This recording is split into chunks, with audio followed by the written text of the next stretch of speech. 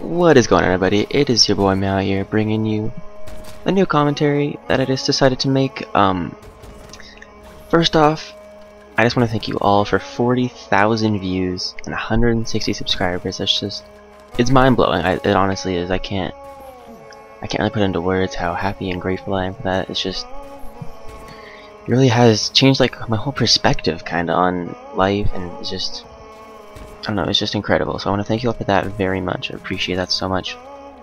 Um, got some video ideas. Uh, you know, I'm trying to make videos consistently, but I don't. I don't just want to make you know just regular freaking comms where you just show like a clip or two and then talk for a bit. I find those extremely boring to make, extremely boring to watch. So the clips, the videos that sorry clips, the videos that I like to try to make are special vi special videos like the Dream Clips one or edits or minis.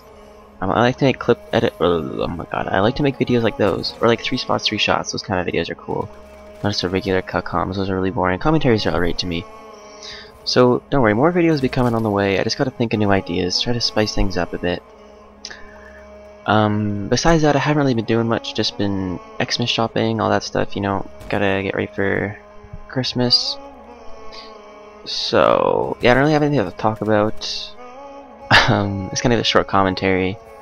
I don't know what's in the background, probably a piece of some gameplay or something. Um, and yeah, I want to thank you all for watching. If you enjoyed, please remember to leave a like. I hope you have an amazing Christmas, Hanukkah.